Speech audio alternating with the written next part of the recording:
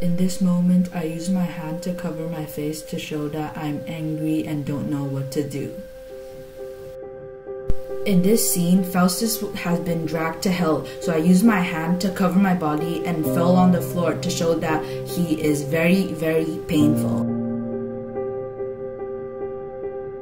I'm lying down on the floor to show that I'm very weak, and the devils are standing to show that they're tall and very powerful. They're punching and kicking me to show that I'm very weak. I'm trying to get up, but still they punch me down again.